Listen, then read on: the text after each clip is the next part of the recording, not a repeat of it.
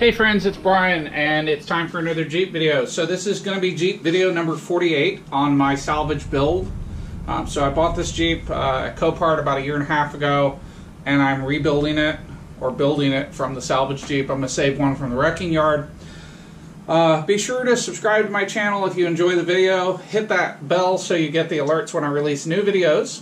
Um, I organize my videos into playlists, so be sure to check out the Jeep Build playlist. And let me know what you think in the comments. I appreciate you watching, and most of all, I hope this helps you with your project. So, um, let me grab some gloves here. So today's video is I'm going to take the oil pan off the engine. Um, and uh, I flipped the engine over today, uh, so um, it's much easier to work on it out of the vehicle and with the engine upside down. I'm going to kind of check the camera angle here.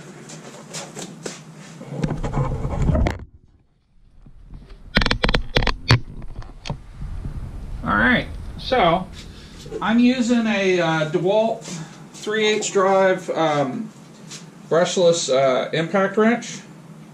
This is a hog ring edition. This you're going to need 11 millimeter socket. The other thing I recommend is find yourself a nice big piece of cardboard so you can organize the bolts so you know where they came from and where they go to. Uh, it's probably also a good idea to print out the pages from the factory service manual. You can get the factory service manual variety of places. Um, you actually could buy it if you wanted to, but um, I downloaded it off the internet, and it seems to be pretty accurate. Um, so what I'm going to do is, as I take the bolts off, I'm going to mark them. So I've got one, two, three, four.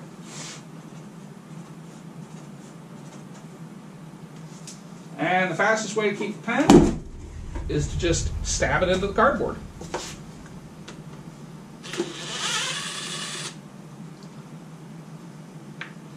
Alright, so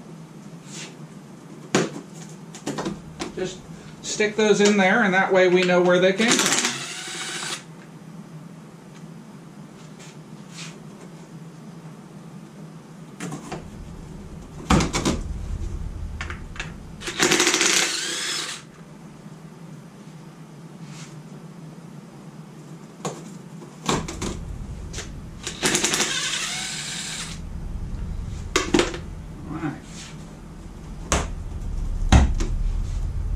Okay, so on the right side I've got 1, 2, 3, 4, 5, 6, 7, 8, 9, 10, 11.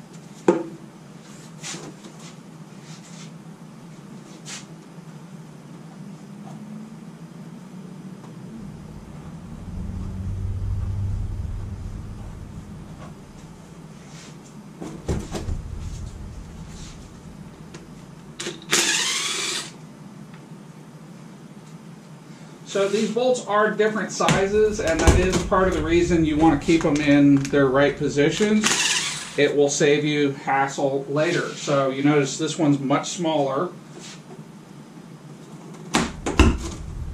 And this one is much longer.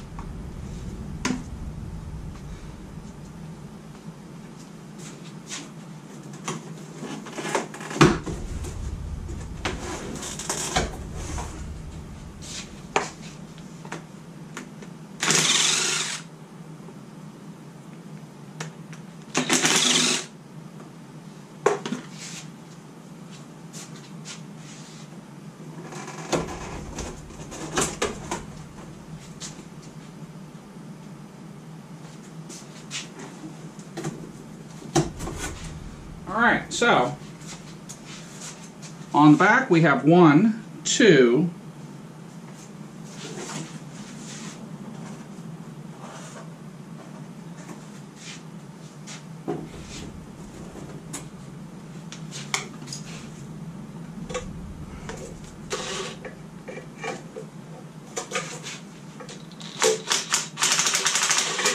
These are a pain in the ass to get to.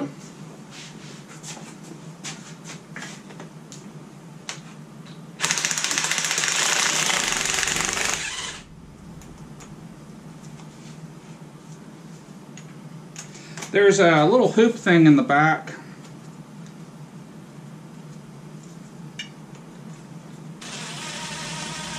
Um, honestly, it's a it's a brace, and I think it makes up for what's arguably a pretty shitty design. It's bad enough that it uses what seems like 35 bolts.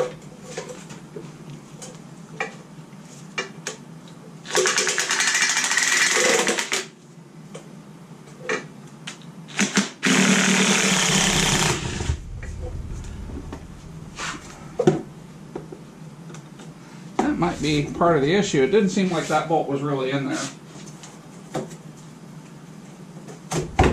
I've got a rear main seal that's leaking, so oh, that's why I'm going in here. Two, three, four, five, six, seven, eight, nine, ten, eleven. So I've got 11, but number 3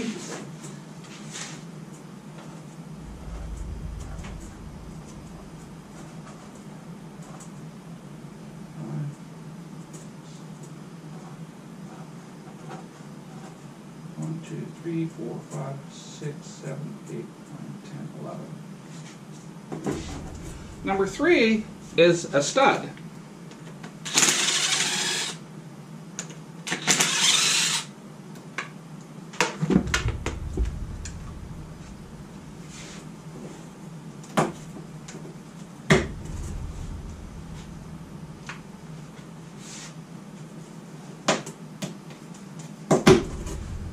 So, I'm going to take one of my many excess tools and just stick it in here.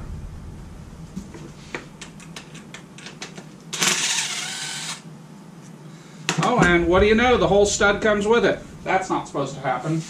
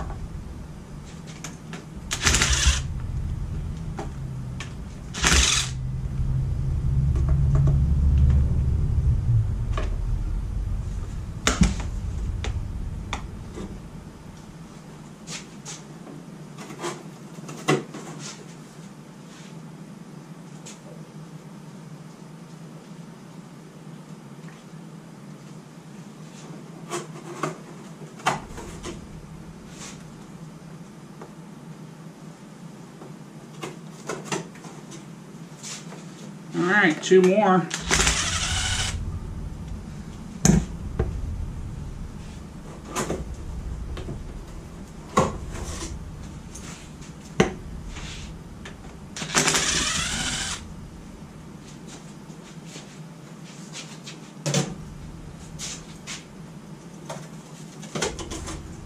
All right, so let's get the admission of failure from Chrysler out of here. I'm sorry, but when you have to put a brace over your oil seal, it, it's an admission that your pan is not strong enough. Um, should come free at this point.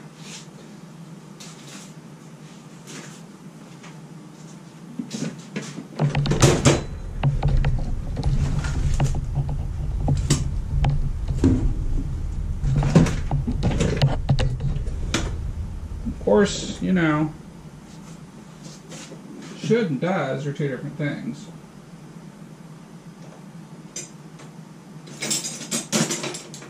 where the fuck my screwdrivers at? There's one. So I'm just going to use this in the edge.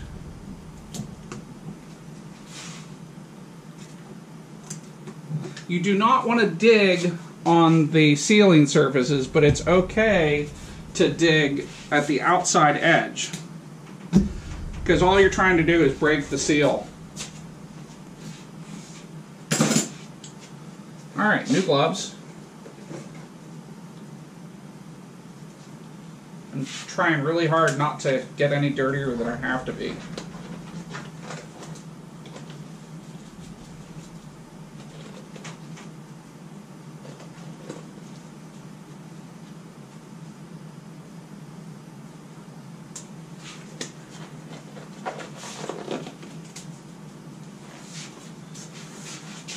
Moment of truth. Let's see what kind of shit's in here.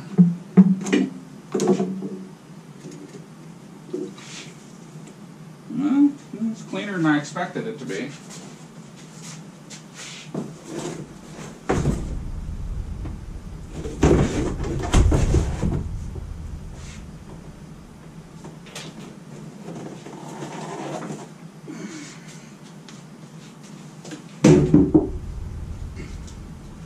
Did not really want that on the floor, but I also didn't want to, uh, I just didn't have any good options there. Oh, it's a two-piece, uh, alright, it's a two-piece gasket. Wow. Back up there, damn it.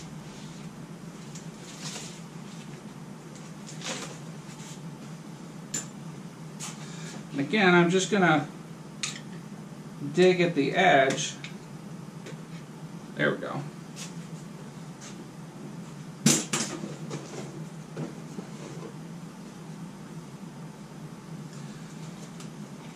Uh, everything actually looks pretty good. This engine has 111,000 miles on it. Um, if we assume that it has never been out, uh, other than you know routine maintenance, and it's never been rebuilt, and I don't see anything to indicate that it has been.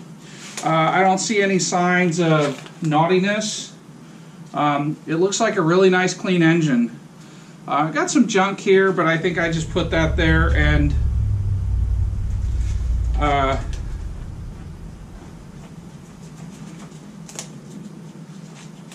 a little bit of deposit activity that I don't like. Uh, there's some gunk that's built up inside here, but you know that's pretty typical.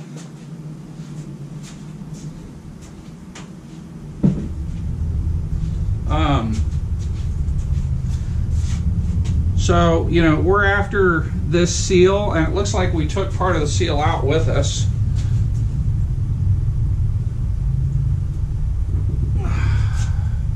So this is the offending seal. I think the two-piece seal is a shitty design. Again, it's just crappy ass engineering. And I don't see so somebody's done this gasket before because I don't I don't see what I should and um, you know what I should see is um, I, I should see uh, anaerobic gasket maker down here and I should see some other stuff that I don't see so that tells me that somebody did an improper repair and that's why it's leaking. Could have been the dealer. Um, you know, their standard of repair is not always as high as my standard of repair because I don't want to have to fucking do it again because the next time it will probably be upside down and I don't want to have to do it upside down.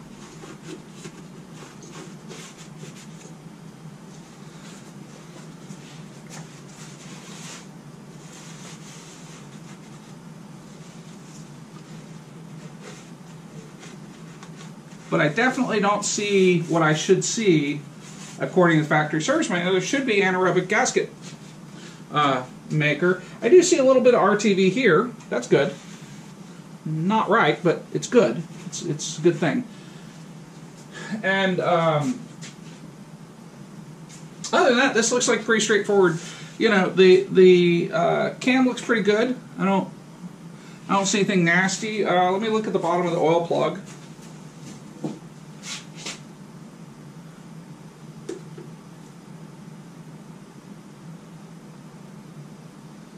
A couple little things on here, but nothing. I don't have any grit, so that's that's the main thing I'm looking for. Um, so it looks like the uh, oil filter was doing its thing, and it's a cheap ass Valvoline oil filter.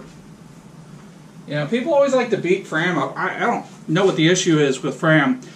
I, get it. People say it's cardboard, but you know what? I've been running Fram for years, and I actually do oil analysis on my oil. So I send it off to a lab and have my oil checked, and I've never heard anything bad about my oil with Fram filters and Mobil 1. So I'm going to keep doing that. Um, so I I, I want to take this pickup tube out. Um, I have a new one. Don't know if I need a new one, but I decided that I would order it. And I want to take the oil pump off, but I it just would be easier to do this with those out of my way. Um, but that's really all there is to this video. I really need to clean this up, so I'm gonna have to see what I clean this up with. It's a nice, it's a nice surface. There's no, nothing, nothing that really bothers me. Um, you know, the joints need some cleanup here, so that's not a big deal. And um, but I'm really in here for this rear main seal, so I'm going to do that as a separate video. But before I do, let me do some video in here. And you know, where the hell did my flasher light go? There it is.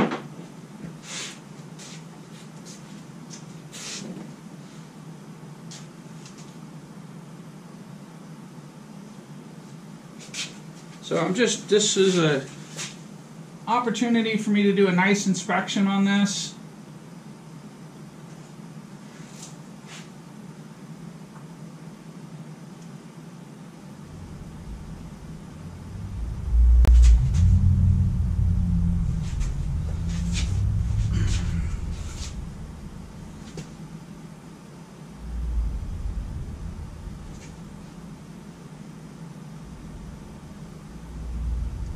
Cylinders and um, the pistons look good. I don't see anything that looks like it's broken.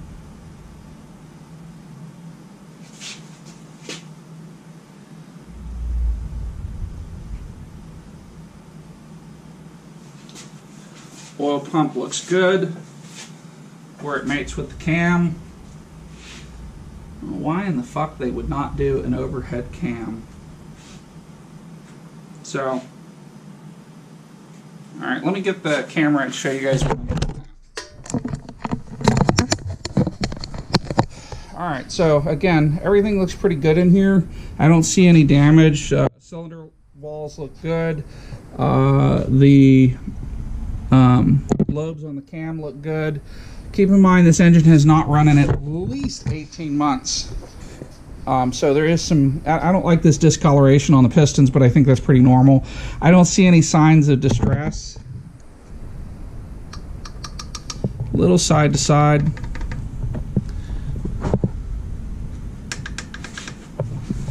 Um,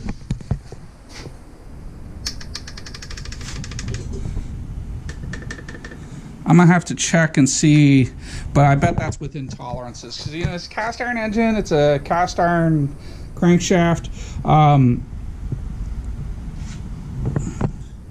I don't know why there is a bolt back there, but we'll deal with that too. Um, timing chain looks nice.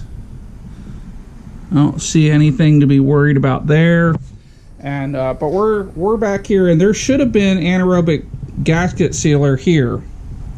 Should have been a piece right there, and I, I don't see very much of it. So I got to get this this surface uh, cleaned off, and uh, I see a little bit there, but I just I don't see the amount that I should, and that's probably why it's leaking.